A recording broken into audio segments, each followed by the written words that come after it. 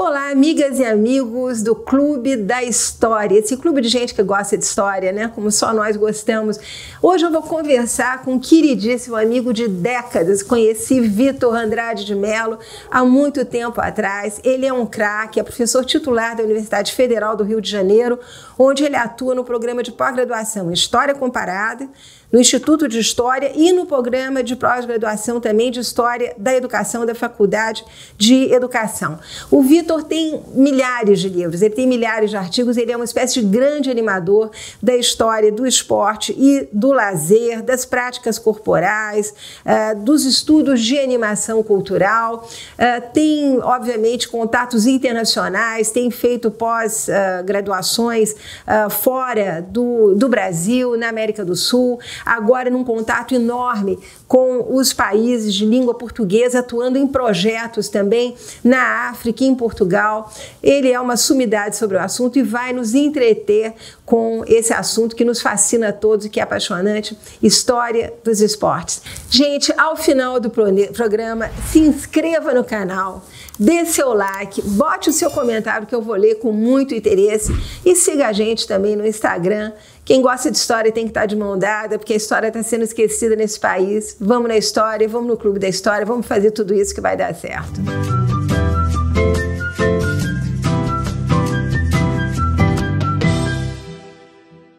Olá, amigas e amigos do Clube da História. Esse clube para todo mundo que ama a história, que como nós ama ler história, ama entender história, gosta de revista de história, gosta de filme de história, gosta de tudo, tudo que tem a ver com história.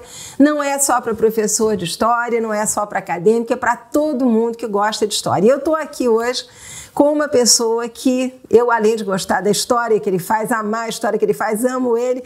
Ô, Vitor, se eu fechar os olhos aqui, Vitor Andrade Melo, o que, que eu vejo? Eu me vejo lá na UFRJ com um garotão com o rabo de cavalo até o meio das costas, atlético, abrindo uma portinha para mim de um tal de laboratório de esporte, estudos de esporte e lazer, uma salinha recheada de papéis, de livros, de gente bacana, inaugurando um tema que o Vitor Andrade Mello é simplesmente o Papa. Ele começou com esse livro aqui, que para mim continua sendo uma Bíblia, Cidade Esportiva, Primórdios do Esporte no Rio de Janeiro, e a partir daí decolou, são vários, é uma trilogia, Cidade Expandida, o terceiro, como é que chama, Vitor?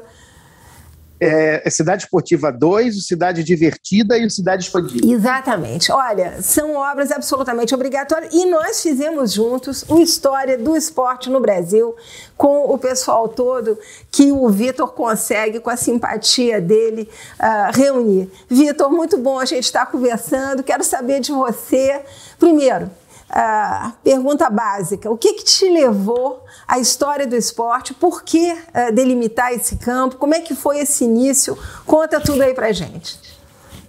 Ô, Mary, obrigado pelo convite. Super felicidade de estar com você. Lembro bem dos nossos primeiros encontros, né, algumas, algumas décadas atrás, né, é, e é um prazer estar sempre em contato contigo. Mary, eu, eu sempre fui apaixonado por esporte, né? É, muito apaixonado por esporte. Fui praticante, mas não fui um praticante de alta performance. E gostava mesmo do, de assistir esporte, né? E de tal maneira que a minha formação, ela não foi formação básica, não é história. A minha formação básica é educação física. Né? Então, eu, é, quer dizer, o meu interesse pelo esporte me levou a pensar na carreira de educação física. Mas eu também sempre gostei muito de história. Né, e comecei a fazer faculdade num ano muito importante, foi o ano de 1989, que era um ano enfim, eleição presidencial, o país em mudança, né?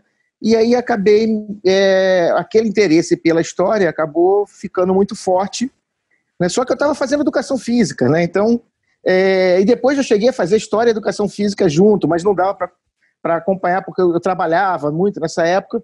Então a história do esporte acabou sendo é, a união de dois interesses pessoais e por acaso também estava no momento em que esse campo estava começando a se, for, a, a se fortalecer, a se formar no Brasil. Primeiro, no âmbito da educação física, a história era muito refratária a novos temas.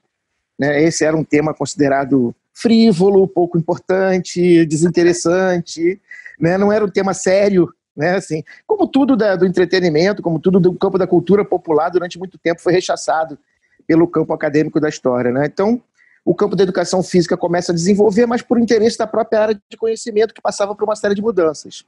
Né? E aí depois eu acabei migrando para a história e junto com outros colegas a gente acabou então aí forjando os primeiros movimentos desse campo que hoje é um campo já bastante desenvolvido. Vitor, eu me lembro perfeitamente, agora estou aqui fazendo também uma série de associações, a importância de uma geração ligada em esporte.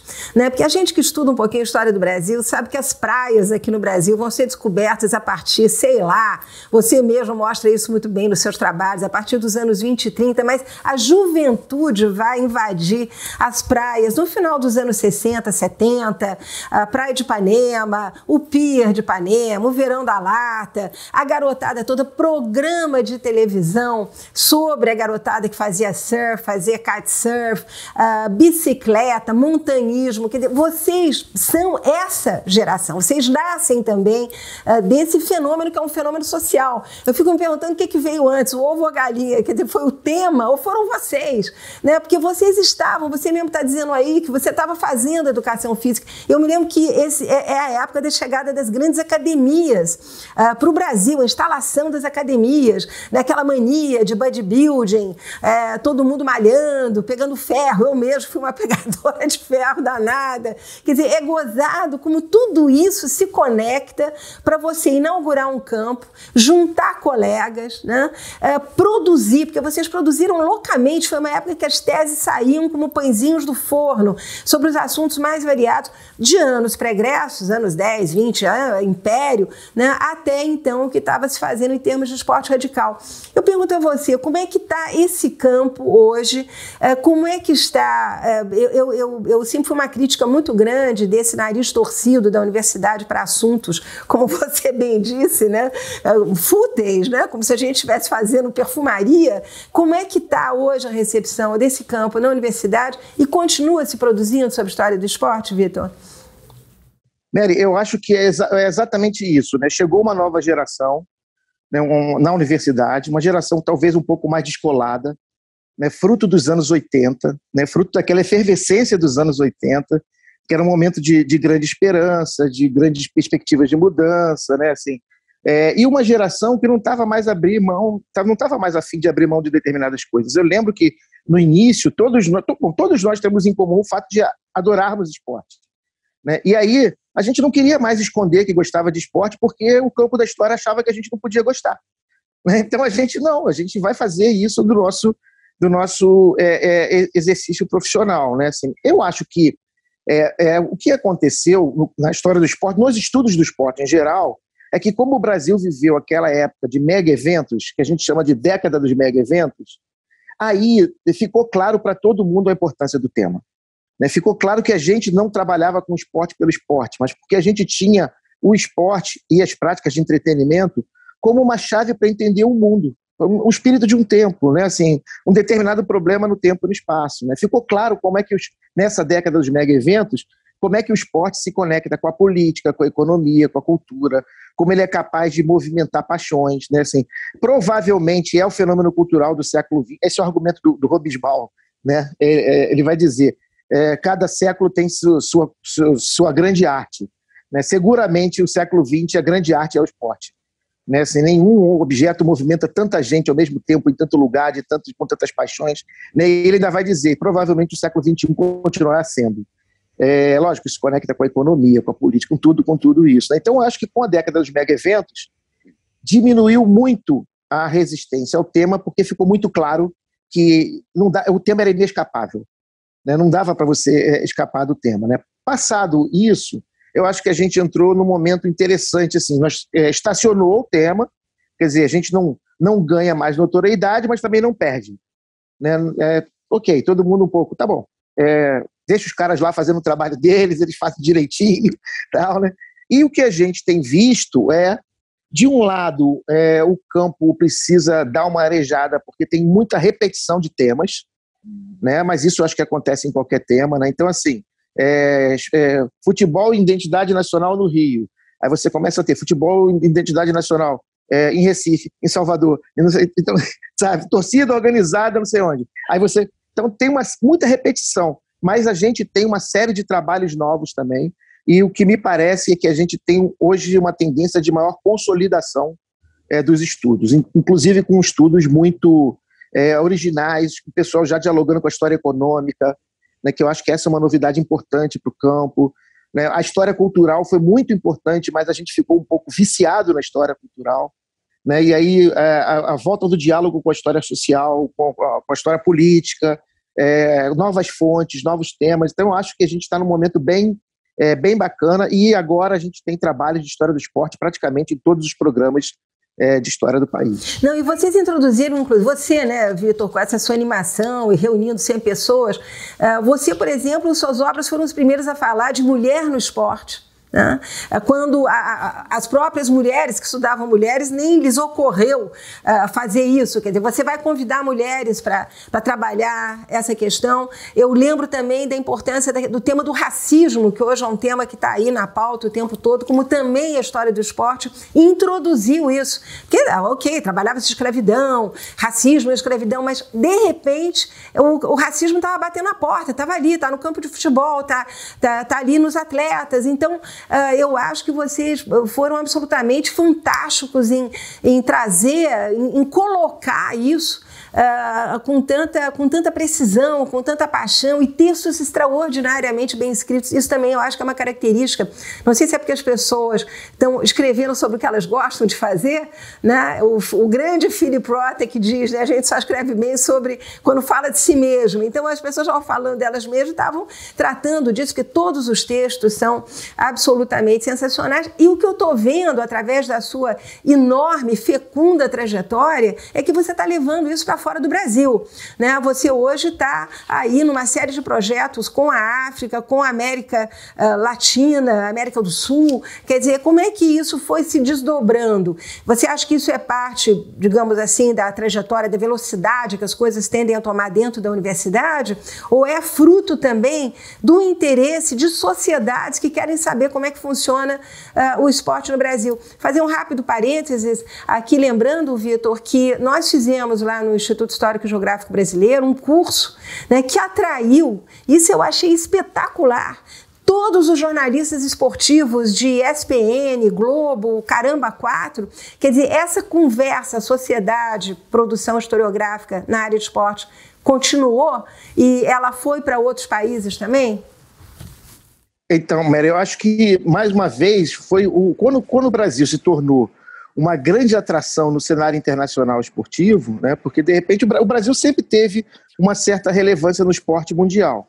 Mas de repente ele foi sede de tudo, de Jogos Olímpicos, de Copa do Mundo. Né? Assim, aí os olhos se voltaram muito para o Brasil, inclusive dos acadêmicos. Né? Assim, então eu, é, é, o Brasil passou a ser, as pessoas, os colegas de fora do país começaram a querer, como que país é esse? Né? Que, e aí a gente começou a ser é, inclusive convidado um pouco para falar sobre isso. Né? Eu e o Maurício, por exemplo, organizamos um, publicamos um livro na Routledge em inglês, é, convidados assim um pouco, né, de que as Maurício, pessoas queriam saber. Sobrenome do Maurício? O Maurício Drummond. Drummond. Drummond, é. é agora, eu é, tenho, acho que tem uma peculiaridade que é o encontro com os colegas de Portugal. Né? Isso foi muito legal. Os colegas de Portugal também estavam começando a prestar atenção no esporte né? mas de forma ainda mais modesta do que, do que, do que nós. Né? E, é, porque para eles a academia né, é um pouco, até um pouco mais conservadora do que a nossa. Né? É, e eu acho que aí o nosso polo de contato foi desenvolver um projeto sobre esporte nos países é, de língua oficial portuguesa, né, e que deu uma chave muito bacana para a gente, que foi para discutir colonialismo e, e, e, e pós-colonialismo. Né? Assim, então, isso também colocou o tema num outro fórum que foi dos estudos africanos, né, que a gente continua até hoje. Né? Eu estou em Lisboa para participar, inclusive, de um congresso de estudos africanos né, e também de seguir as investigações sobre Cabo Verde e Guiné. É, então, as coisas acabaram acontecendo. Parece que havia um espírito é, do tempo que também nos ajudou. Né, assim, a nossa empolgação foi beneficiada por um tempo que colocou o nosso tema de alguma forma em, em, em voga, né, em destaque no cenário nacional e internacional. E o fio condutor é sempre o futebol. Eu outro dia até entrevistei um professor senegalês e nós estávamos falando até dos leões, é, o famoso time do Senegal, né? os leões africanos, sei lá como é que eles são chamados. E o fio condutor é sempre o futebol? Essa, essa junção, que... países de língua portuguesa, é, a questão é o futebol. É, eu acho que essa é uma novidade do campo. Quando a gente começou, era 80% dos trabalhos sobre futebol. É, é, e 80% dos trabalhos sobre futebol século XX, porque também o futebol é o final do século XX. Né? Hoje em dia, a gente tem mais ou menos 50% dos trabalhos sobre futebol e 50% de outros esportes, o que é muito bom, porque o futebol é efetivamente o esporte mais importante do Brasil e do mundo. Então, se continua com estudos muito fortes de futebol, mas a gente começou a prestar mais atenção para outros esportes. Né? Então, por exemplo, no caso de Cabo Verde, o futebol é muito importante, mas é muito curioso que você tenha um país africano no meio do Atlântico que tenha como esportes nacionais o cricket e o golfe. Né? Eles têm até hoje um campo de golfe ativo que não tem grama, porque não, não nasce grama. Então, eles, eles lá não tem um green, lá tem um brown. né? assim, e continua funcionando. Né? Assim, aí a pergunta é: o que leva, então, a um país no meio do Atlântico africano ter o cricket e o golfe como esportes nacionais, embora o futebol seja muito importante. Né? Então, isso nos permite discutir colonização britânica, trânsito cultural, relações é, entre Europa e África. Né? Então, a gente desviando o olhar só do futebol, a gente consegue perceber o quão rico é o fenômeno esportivo e quanto ele permite a gente discutir dos mais diferentes temas. Agora, Vitor, a pergunta que não quer calar. Quando a gente fala em esporte, sobretudo a gente fala dos grandes acontecimentos esportivos, né, há um personagem obscuro uh, que eu tenho a impressão que uh, deve suscitar milhares de indagações, que é corrupção no esporte. Uh, isso já é tema, isso uh, faz confluir o jornalista e o historiador. Eu ontem estava ouvindo até uma entrevista do Humberto Eco, que já está falecido, em que ele compara o jornalismo ao, à, à, história. Ele diz: bom, nós todos temos que uh, investigar, temos que achar fatos, temos que descrever fatos, temos que interpretar fatos. Né? Ele faz essa combinação, achei até muito bacana. E pergunto a você: quer dizer, já há estudo sobre corrupção no esporte? Porque matéria não falta, né? o jornalismo uh, vem contribuindo, nós vemos aí que há memórias, livros de não ficção sobre uh, corrupção e esporte. Como é que vai essa, esse tema? É, há muitos estudos já, Mary, inclusive no cenário internacional, no cenário brasileiro também. Eu acho que quando a gente chega próximo do presente é onde os jornalistas e historiadores melhor colaboram. É, né, o jornalista tem uma pegada que nós historiadores às vezes não temos, ou, enfim, por, por, e nós temos coisas que eles não têm. Então eu acho que quando a gente chega perto do presente, a gente tem excelentes colaborações entre jornalistas e é, é, historiadores. Quando as coisas vão mais para o passado, né, assim, aí a gente tem mais estranhamentos, né, porque, lógico, a forma de. Com isso eu não estou desautorizando, né, longe de mim, aliás, longe de você, longe de qualquer um, desautorizar quem é que vai fazer história. Né? Assim, a história é muito séria para ficar só na mão dos historiadores de formação. É, é, e agora, é, eles operam um pouco a história diferente do que a gente opera metodologicamente, né?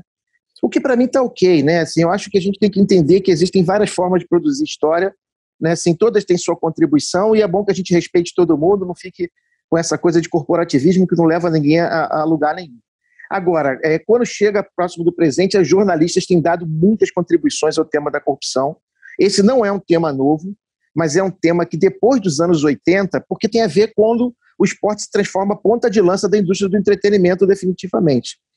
Né? Então ele vai movimentar quantias inimagináveis, né? assim, é, inclusive causando preocupações, por exemplo, a comunidade europeia há anos vem demonstrando preocupação com possíveis lavagens de dinheiro por trás das negociações de jogadores de futebol. É um, é um, bem tangível. Quanto custa um jogador? Como é que a gente pode mensurar isso? Né? Aliás, é curioso, porque a comunidade europeia manifestou isso também em relação ao mercado de arte.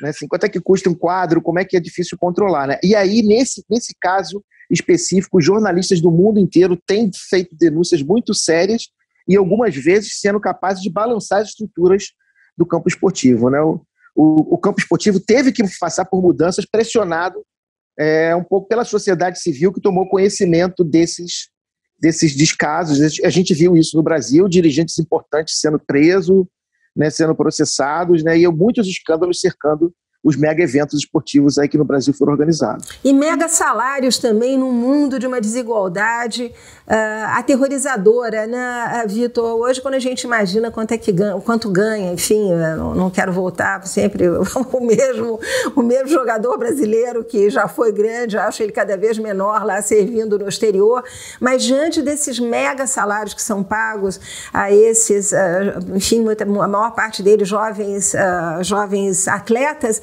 uh, num descompasso não só com a situação mundial de crescente desigualdade, de uh, problemas de toda sorte, uh, e ao mesmo tempo, muitas vezes a gente sente que há uma espécie de. Ele, esses caras vivem numa bolha, quer dizer, questões como ecologia, questões como o racismo, eles todos sofrem, então há sempre uma, há, há, sempre uma manifestação. Mas eu diria que há todo um, há todo um calendário de, de eventos que poderia ser tratado aí também, digamos, por essa área de, de, de, isso que você falou, quer dizer, essa, essa, essa, essa, essa coisa do lazer como negócio, do esporte como negócio, né? E que fica fora, inclusive, da preocupação dos atletas. Nós tivemos atletas brasileiros fantásticos, né? muito, muito, uh, muito antenados uh, com a questão da pobreza do país e que agiram nesse sentido. Acho que o Casagrande foi um deles, né? Que é considerado assim simbólico. Desculpa, não conheço bastante bem futebol para estar aqui mencionando nomes, mas uh, essa alienação muitas vezes também deve, deve ser questionada, né? através desses trabalhos científicos ou não, porque é como se essas pessoas vivessem em outro planeta. O futebol desse a eles uma uma outra localidade aí no universo, não sei. É, a ideia de que o esporte é apolítico é uma ideia é, claramente mercadológica, né? Assim, ela foi muito fomentada no período do João Avelange, né? tanto no João Avelange na FIFA como no João Avelange da COI, no, no, no Comitê Olímpico Internacional. Né? Isso permite que a FIFA é, trate com os, os ditadores mais brutais, né? Quer dizer assim, então agora, por exemplo, recentemente, foram tomadas uma série de iniciativas para punir a Rússia, não é por causa do é, da guerra com a, com a Ucrânia. Mas é é, é, é, torneios de futebol continuam a ser celebrados em países que são governados por ditadores. Né? Quer dizer, as entidades esportivas elas passam muitas vezes ao, ao largo por seus interesses financeiros. Né? A gente vai ter uma Copa do Mundo no Catar né, cercada de denúncias de, de maus tratos. É, de, trabalho escravo, trabalho escravo. De trabalho escravo, né? Assim, é, é, Então, quer dizer, a gente uh, tem cada vez mais gente. Bom, e aí os jogadores, os atletas, eles aclamam também, muitas vezes, emulando esse tipo de característica política. Até porque aqueles que são é, politicamente posicionados são constrangidos pelo próprio campo esportivo. Agora, recentemente, a, a, a, filha da Isabel, né, uma das jogadoras de vôlei, é, quase foi punida pelo Supremo Tribunal porque falou um fora Bolsonaro no jogo. Curiosamente, todos os jogadores que falaram vem Bolsonaro, nenhum foi punido. Né? E aqueles que falam fora eh, são constrangidos. Né? Então, o meio também precisa mudar e, para isso, ele precisa ser pressionado também por uma nova forma de fazer negócio. Porque não dá para a gente fugir, Mary, dessa coisa do negócio. Né? Assim, é, o esporte é negócio desde que nasceu. Ele nasce no século XVIII já como negócio. Né, assim, e essa é a marca do campo. Por isso que ele é fruto da, da Revolução Industrial. Né, assim, é, o fenômeno é fruto da, da, da, é, é da modernidade, da, é, da, da, organização do, é, do capitalismo. Né, então ele vai ser sempre negócio. O que a gente tem que pressionar é que esse tipo de negócio não possa passar por cima de todo valor. Como a gente está pressionando também todos os negócios em relação ao meio ambiente, né, respeito à, à, diferença, é, enfim, é, que os negócios combatam também o racismo, a homofobia, não é? Então, timidamente, o esporte começa a fazer isso, né, assim, é, pressionado por, por, por, essa nova ambiência. Agora, Vitor, eu acho bacana porque a questão da homofobia, a gente vê que é uma mudança vinda de baixo para cima, ou seja, dos próprios atletas, né, que vão se assumindo Né? As mulheres, sobretudo, eu acho muito bacana, quer dizer, como elas vêm se assumindo, ah, ah, vêm, vêm assumindo as suas relações homoafetivas e como, e como isso pode impulsionar uma mudança boa e positiva, uh, malgrado a resistência, o conservadorismo de muitos públicos, né? Mas o fato das pessoas hoje quererem viver na sua integridade, com a sua dignidade, uh, assumindo-se como são, né? Eu acho que isso, essa juventude aí esportiva, uh, talvez vá trazer uma, minha impressão, né, como observadora, uma, uma mudança positiva aí. O que, que você acha? Eu acho que essa é a grande novidade, assim, é, do, da afiliação é, institucional é, do, do, do, do, campo esportivo em geral. É, é, eu, eu, até dei uma entrevista para um rapaz da Folha de São Paulo, ele dizendo assim, ah, esses Jogos Olímpicos que passaram são o menos político dos Jogos Olímpicos. Né? E eu falava assim, cara, eu acho que esses jogos são os mais políticos, só que a política mudou de foco. Né? Assim, são, a, a gente não está só fixado no Estado estamos falando da política cotidiana, né? é política de mulheres, política de negros, política né, racial, é, política de, é, de gênero, de orientação. Então, esses jogos foram espetaculares. Né? Assim, e aí, é, é, o que a gente vê é efetivamente os atletas assumindo a sua, a sua é, orientação, né, exigindo respeito. Logicamente, esportes como o futebol né, acabam tendo mais dificuldade de, é, de lidar com isso, porque são muito, muito conservadores.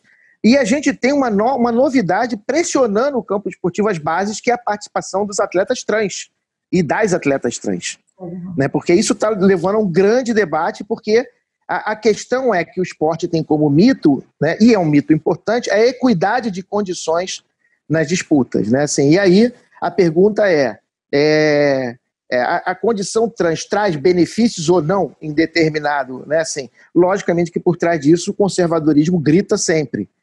É, de toda forma, me parece que é um caminho que não tem mais volta. Né? O campo vai, vai ser pressionado né, assim, e vai ter que. O, o, é, o campo esportivo é como todos nós, né? É, todos nós estamos sendo instados a reaprender as coisas sobre o mundo. Reaprender como é que se dá as relações entre homem e mulher, entre branco e preto, entre heterossexuais e homossexuais. O campo esportivo não vai ficar fora disso, porque todo mundo está tendo que aprender como é que se posiciona diferente no mundo em mudança. E uma, olha, uma bela mudança. Tomara que venha e venha logo. A gente está precisando das mudanças positivas, né?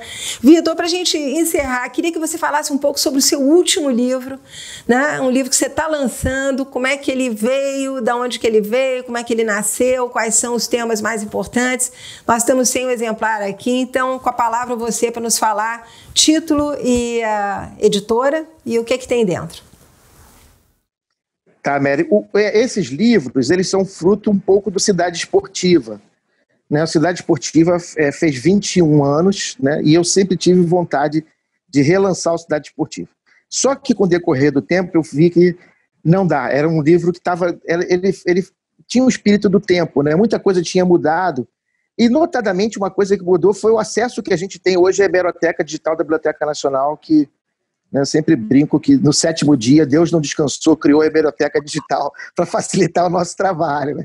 É, então, é, não cidade esportiva, quando eu acabei, é, esse foi o fruto da tese de doutorado, eu tinha muita vontade de dar sequência aos estudos do esporte no Rio de Janeiro do século XIX. Né? Assim, então, esse, o Cidade Esportiva 2, que eu estou lançando em três volumes, porque ficou muito grande, a editora pediu para lançar em três volumes, são esses estudos sobre é, é, aprofundando os estudos sobre o esporte no Rio de Janeiro do século XIX. Não só tem um volume que é só para os esportes pioneiros, o remo e o turf, é, e tem outro volume que é para multiplicação de experiências esportivas. Então, quando chega o atletismo, quando chega o ciclismo, até o século XX, quando chega o automobilismo. É, e o terceiro volume é sobre imprensa e mercado, como é que se organiza ao redor do esporte. Quando eu estava terminando a tese, eu comecei a ter a impressão de que não dava para entender o esporte se a gente não entende a formação de um mercado de entretenimentos.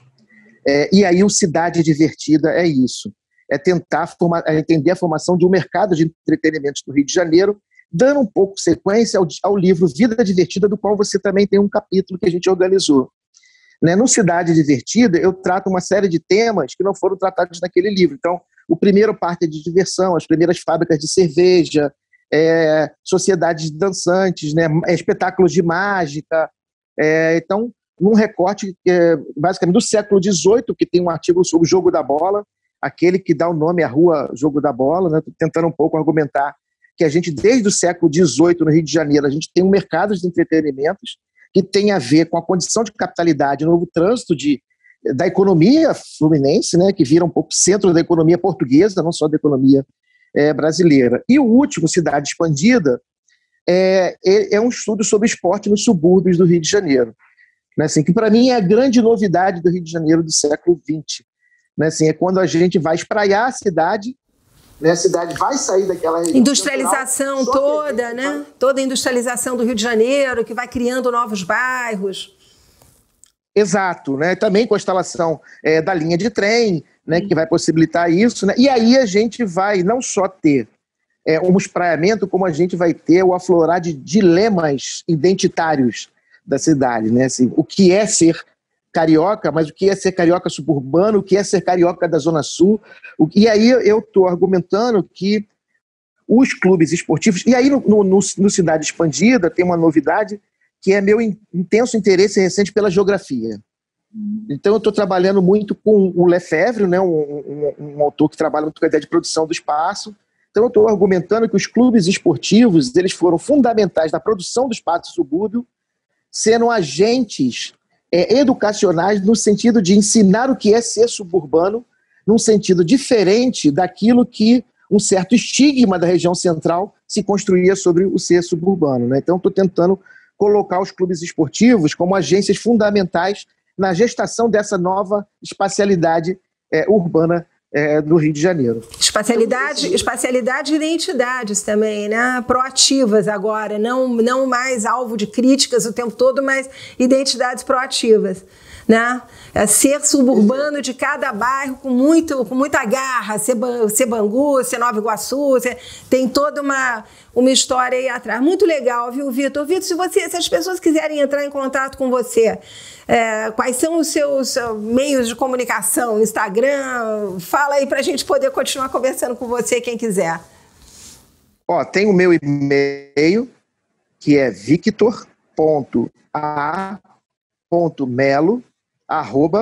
victor.a.melo.uol.com.br ou tem a página do nosso laboratório, né, que é www.esporte, né, com, como se fosse no inglês, né, mas não é porque é inglês, é porque no século XIX não havia a palavra esporte, né? Então é www.esporte.história.frj.br. E os livros estão disponíveis. A editora Sete Letras que lançou esses livros, com o apoio da FAPERJ, né? E, e, é uma coleção que a gente tem, eu com, com o querido amigo Bernardo Buarque de Holanda, chama-se Visão de Campo. A gente já tem 30 títulos sobre esporte nessa, nessa coleção. Vamos atrás dos 30 títulos, Vitor. Vitor, eu quero também avisar aí para os nossos ouvintes que nós estamos lançando, mais uma vez, você junto comigo, fizemos História dos Homens, História do Esporte, História da, do Corpo. Estamos lançando História dos Jovens no Brasil pela Unesp. Daqui a dois meses já vai estar também nas livrarias junto com seus livros. Quero te agradecer muito, boa sorte aí em Portugal. Dê o nosso abraço para os amigos alfacinhas e muito sucesso abraço para você e a gente se vê em breve, Vitor, querido. Obrigado, Mary. Um prazer, um prazer grande sempre. Um beijo bem grande. Obrigada.